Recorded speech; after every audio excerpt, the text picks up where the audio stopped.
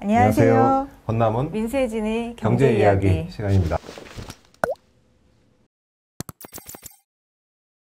어, 지난주에 그 다들 월드컵 보시느라고 경제 뉴스가 눈에 과연 예, 이번 주도 들어오셨을까 뭐, 싶긴 한데 예, 게- 계속되고 뭐 계속 있죠. 예, 월드컵이야 예, 뭐. 예. 네. 계속 더 사실은 뭐 오래 하면 좋겠는데. 네네네. 관심 오래 갖고. 갔으면 좋겠습니다. 화이팅! 네.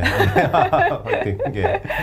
예, 어, 지난주 뉴스 중에서 저희가 좀 주목을 했던 것은 사실 뭐 여러 번 다뤘기 때문에 네네네. 뭐 아주 놀라운 뉴스는 아닙니다만 그래도 이제 한 몫에 좀 정리하는 그런 성격을 갖고 있는 역시 KDI가 그런 거는 잘하는 그렇죠. 것 같습니다. 그래서 맞습니다. KDI가 지난주에 어떤 제목으로 발표를 했느냐면 2060년에 가면 최악의 경우 국가 채무 비율이 231%까지 간다. 어, 그럼 어떻게 해야 되냐? 부가세나 소득세를 올려야 되겠다.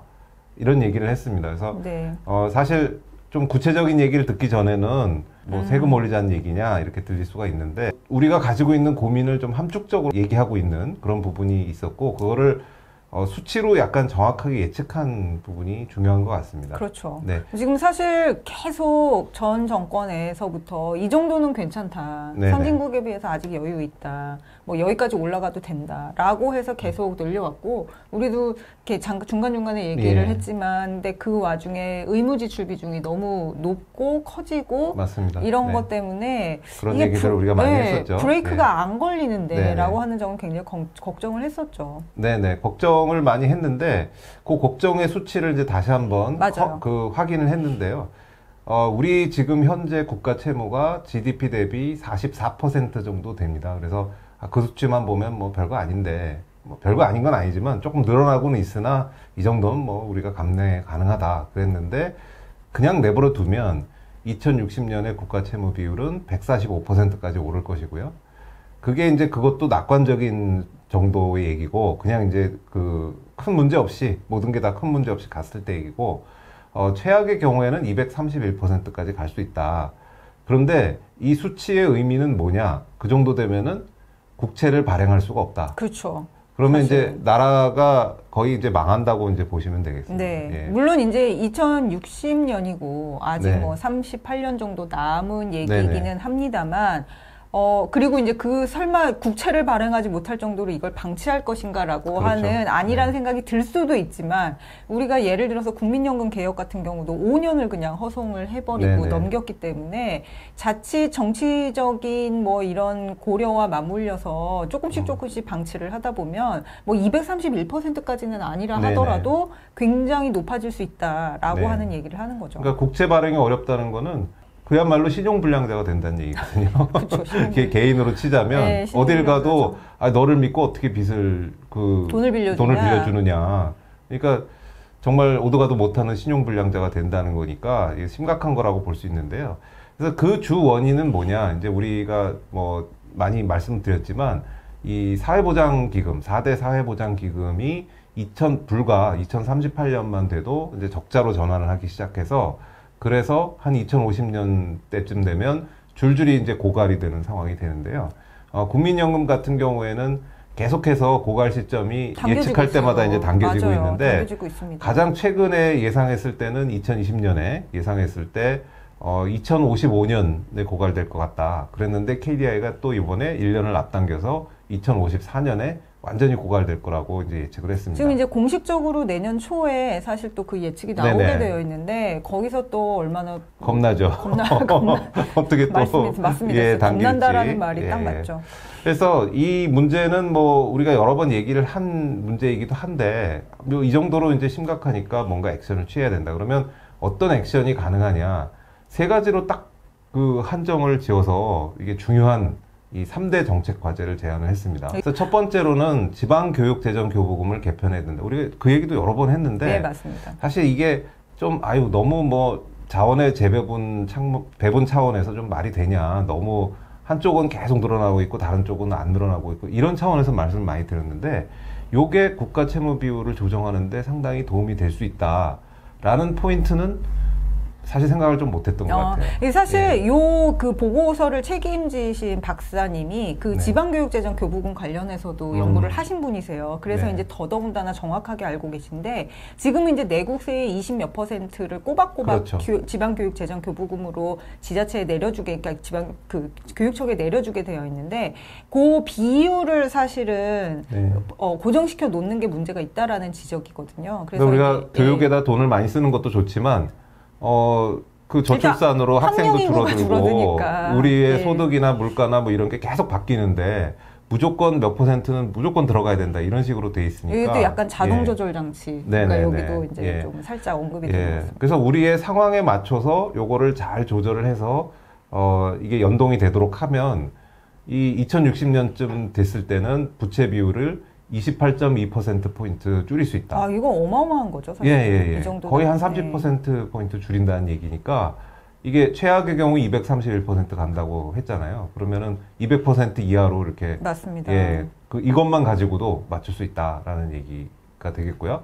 그 다음에 이제 두 번째는 재량 지출의 통제인데, 이건 이제 늘 나오는 얘기입니다. 우리가 의무 지출이 있고 재량 지출이 있는데, 의무 지출은 줄일래야 줄일 수가 없으니까. 없으니까. 재량 지출을 줄이자. 근데 재량 지출 안에도 그렇게 재량이 아닌 것들이 많이 있거든요. 말이 재량이지. 맞습니다. 국방비 뭐 이런 건데, 국방비를 확 줄이면은 뭐 공무원 월급 뭐 이런 것들이 그 상당 부분을 차지하고 있어서 사실은 한계가 있어요. 그래도 어 재량은 재량이니까 이제 열심히 이제 그 해서 긴축을 해서 줄일 거는 줄여야 된다. 사실 그 내년도 예산 안에 굉장히 네네. 주목할 만한 부분이 물론 이제 그 정도 규모 갖고 되겠냐라고들 하시지만 네. 일단 기조 자체를 긴축으로 잡았다라고 하는 게 저는 되게 의미가 있다고 네. 보거든요. 그래서 이런 부분들이 앞으로도 계속 신경을 써야 맞습니다. 되는구나라고 하도- 지적이 된 것 같습니다. 하도 계속 늘어나고 있으니까 예. 이게 늘어나는 트렌드만 꺾어도 이게 이 성취인 거예요. 근데 사실은 거기서 그 지금 그거라도 빨리 하고 어, 더 나아가서 이제 좀 줄이는 방향까지도 가야 된다라는 거죠. 맞습니다. 그다음에 이제 세 번째가 이게 제일 고통스러운 건데 결국은 세입 기반을 확충을 하는 건데 그러면 세금을 더 걷으라는 얘기잖아요.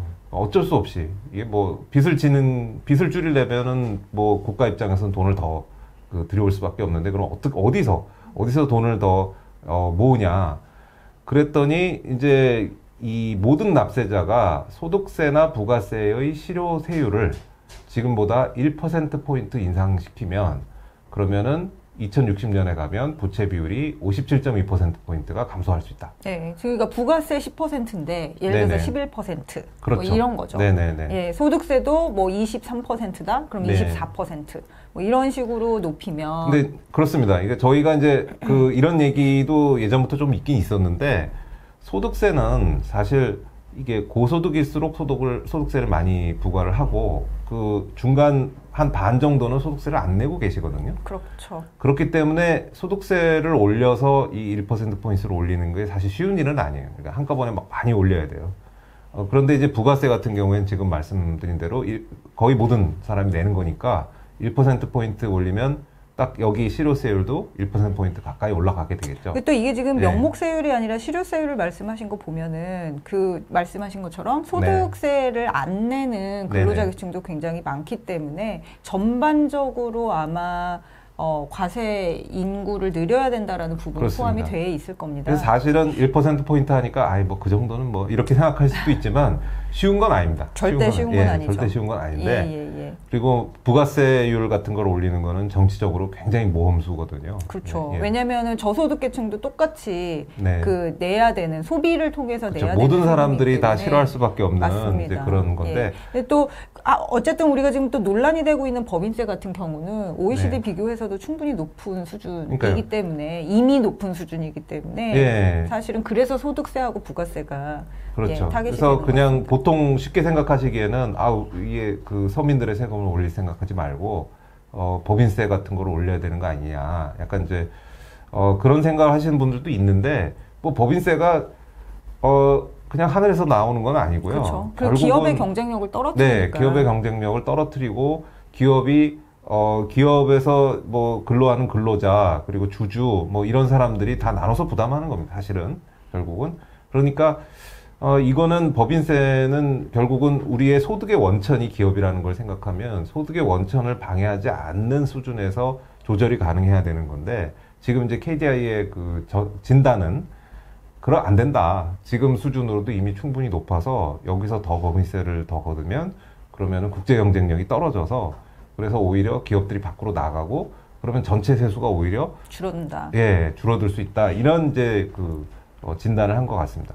결국은 부가세나 소득세를 올릴 수밖에 없다라는 얘기인데 쉬운 일은 아니죠. 네. 쉬운 일은 아니죠. 쉬운 일은. 아니지만 예. 정말 쓴 약을 언젠가는 먹어야 된다.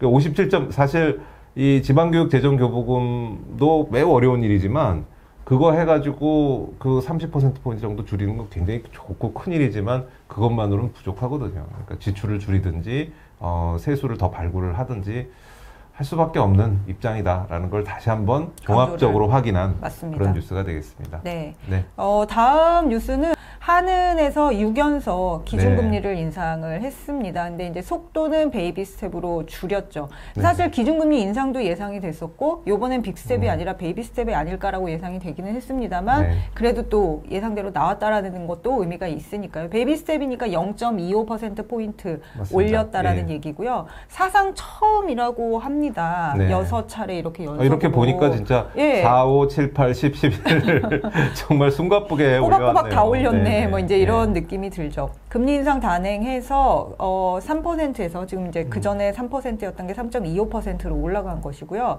작년 8월 이후로 비교를 해보면 1년 3개월 내 기준금리가 2.75% 포인트나 인상이 됐습니다. 네. 요렇게 비교를 하니까 와 정말 숨가쁘게 그렇죠. 예, 올랐구나라는 생각이 듭니다. 그렇지만 어쨌든 다행히 지금 네. 원 달러 환율이 좀 안정이 됐고 자금 신용 경색 상황도 어, 아주 숨가팠을 때에 비해서는 네. 조금 풀린 느낌이 들고요.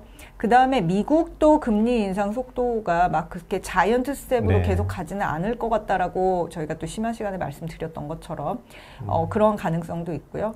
그 다음에 더 뭐 크게 중요한 거는 경기 침체 가능성이 계속 우려가 되고 있기 앞에 일들하고 맞물려 네, 가고 네. 경기 침체 가능성이 우려가 되고 있기 때문에 baby step으로 결정이 난 것 같습니다. 지금 네. 그렇게 결정된 데에 아무래도 소비자 물가 지수 상승률이 영향을 미쳤는데 전년 동월 대비해서 10월 달에 5.7% 상승을 했고요.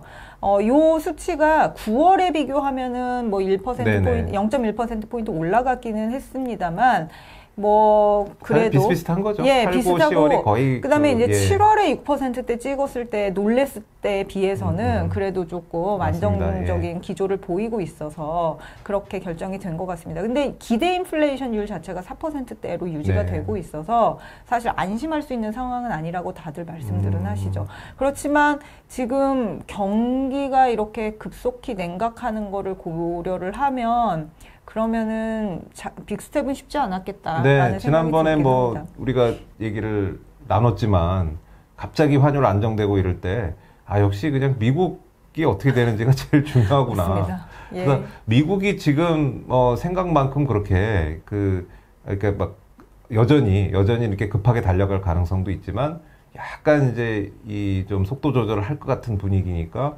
우리도 그만큼의 이 숨 쉴 수 있는 틈이 네. 이제 생긴 것 같습니다. 네. 확실히. 제가 예. 제잘 아는 분이 미국에서 아마존 통해서 비즈니스를 하시는데 네. 이미 사실은 매출로 보면 10월 달에 아. 꽤나 예상 밖에 저조했다라는 네, 얘기를 네, 하시더라고요. 네. 지금은 이제 Black Friday 뭐 이렇게 해갖고 음. 다시 소비가 좀 올라오긴 했습니다만 미국은 원체 이, 이, 이 변동성이, 그러니까 그렇죠. 월별 변동성, 네, 네, 네. 요 연말에 굉장히 많이 그렇죠. 몰려있기 지금이 때문에 사실 많이 몰려 있을 예, 근데 때죠. 이제 네. 10월 달에 그랬다라고 하는 게, 어, 음. 어, 그렇구나. 그러니까 조금, 물론 네. 우리가 이제 실업률 자체가 나쁘다라고 보지는 음, 않고 음. 있지만, 경제활동 참가율이 또 낮으니까, 네. 지금 또 대규모 IT 업계에서들 해가지고 또 음. 대규모 그, 그 고용, 해고를 하고 있기 때문에, 앞으로 연말 지나고 연초까지 어떻게 될지 모르겠습니다. 어쨌든 우리가 지금 baby step으로 주, 그러니까 그 금리 인상 폭을 상당히 좀 낮춰놨기 때문에, 네. 지금은 0.15%포인트지만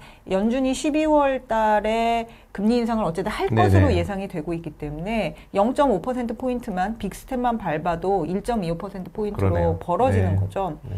그래서 어, 여기에 대한 우려가 뭐 없는 것은 아닙니다만 그 정도는 일단 감수하고 12월은 예, 넘어간다라고 예. 보는 것 같아요. 그 애매한 면이 있습니다. 금리 차이가 나면 굉장히 큰 일이 벌어질 것처럼 또 일단 환율 때문에 했는데, 걱정을 하죠. 예. 예, 예. 근데 환율이 생각 밖으로 꼭 그런 이유만으로만 조정이 되지 않는다는 게 않죠. 예. 이번에 약간은 이제 그 증명이 된 셈이고요.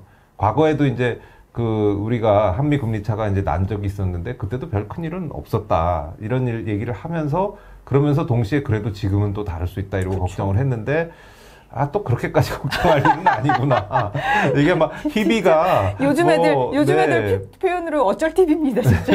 네. 희비가 너무 자주 교차를 하니까 사실은 이러다가 또 어떤 또 일이 벌어져서 또 갑자기 막 아, 이게 걱정이 해서 빨리빨리 올려야 된다 이렇게 될지도 모르겠지만 적어도 현 순간만은 우리가 월드컵을 좀 즐길 수 있는 그 여유를 주려고 그러는 건지 대외적인 변수를 계속 봐야 되는 것 같아요. 네, 맞습니다. 대외적인 네. 변수가 어떻게 되는지 사실은 이제 그 우리 뭐 이제 환율 뭐 이런 것에 보면은 사실은 이게 투기 세력의 공격 대상이 되면 환 차익에 대한 맞아요. 공격 대상이 예. 되면은 굉장히 속절없이 움직이는 경우가 있는데 이게 대외 변수들이 좀 취약한 국가들이 막 대거 갑자기 국가부도 사태에 몰리거나 하면은 또 이상한 영향을 받을 수가 있기 때문에 우리가 억울해하면서 당할 수 있잖아요. 네. 우리랑 쟤네랑 이렇게 다른데 우리까지 이런다고 막 이럴 수 있는데 발생할 수 있는 상황이니까 계속 지켜는 봐야 될 것 같습니다. 네 네. 아무튼 지금 상황은 이렇습니다. 네, 이번 주는 월드컵과 함께. 네, 네 예, 감사합니다. 마치겠습니다. 네.